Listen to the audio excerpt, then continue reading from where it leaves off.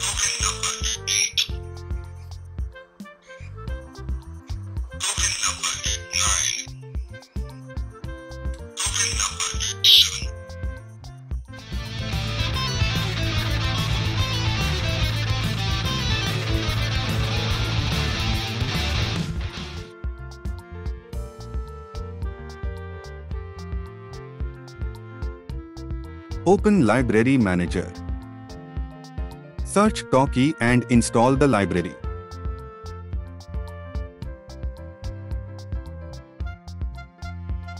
Choose your board and proper port number. If you do not know the port number, see in Device Manager.